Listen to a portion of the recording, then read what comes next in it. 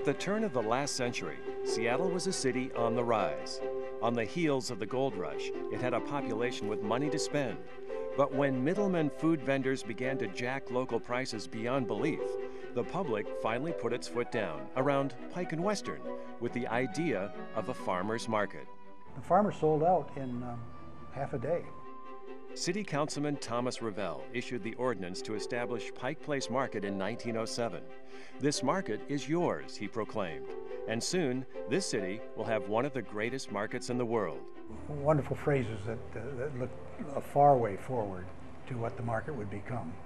Uh, that was always be a people's market, and that kind of language that was purple and appropriate to the time.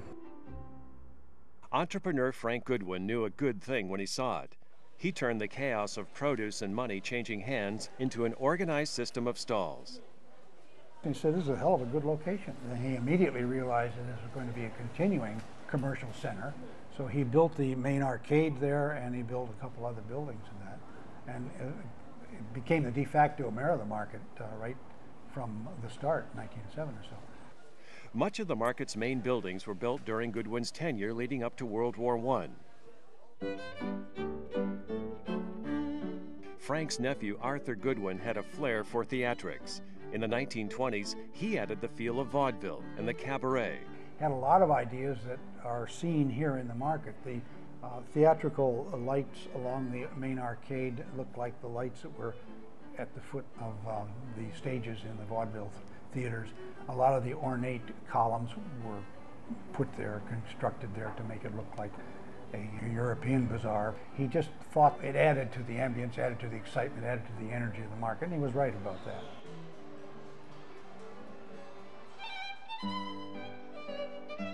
When the Goodwin family's fortune wore thin, an Italian farmer was waiting in the wings, Joe DeSimone. But he was a shrewd farmer and frugal guy, and as soon as he got any money together, he stopped renting and started buying land and planting his own stuff.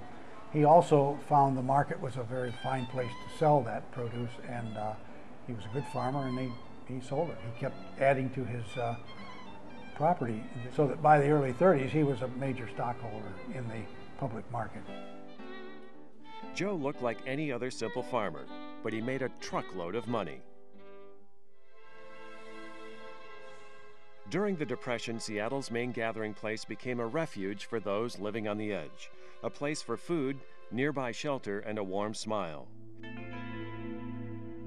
But it was World War II that forever changed the face of the market, the internment of the Japanese. There were almost 600 farm permits issued in 1939, uh, for instance, and, and clearly about two-thirds of those were individual or, or family Japanese Americans in 1942, uh, there were only 96 farm permits issued, none of them to Japanese Americans. So you saw that kind of a loss there. But there were a lot of small businesses that were Japanese American owned in the market. They also, they, they left the farms and they began running produce stands and that. And uh, those were lost or held in trust for them until they got back. Many did not come back.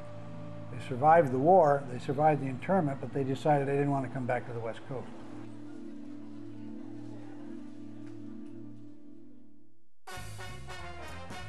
By the 1950s and 60s, Pike Place Market was showing its age. The landlords that owned it were now getting old and they weren't putting their money back into maintaining the buildings. It began looking scruffy and dumpy to the point where Mayor Dorm Braman in the mid 60s said it's just a, um, a fire trap. The automobile and big highways led people out of the downtown and into the suburbs where the concept of supermarkets emerged. Everything grew. Retail merchandising grew and changed. That whole area of, uh, of uh, individual face-to-face -face merchandising died and supermarket merchandising began. Pike Place spiraled downward, a tired remnant of yesteryear that the city wanted to replace with new development. But a group of concerned citizens, led by architect Victor Steinbrueck, mounted a campaign to save the market. Victor never, although he was a professor of architecture and loved buildings and that, he, he quite clearly, honestly said, these are not magnificent structures. these were built on the back of an envelope by, by contractors. And uh, he always said, Victor always said, that the market is the people. And, uh, and it continues to be that, uh, that, that way. With a public vote to save the market and its declaration as a National Historic Site, as long as there is a Seattle, there will be a Pike Place Market. The future of the market's uh, in good hands. It's in its own hands.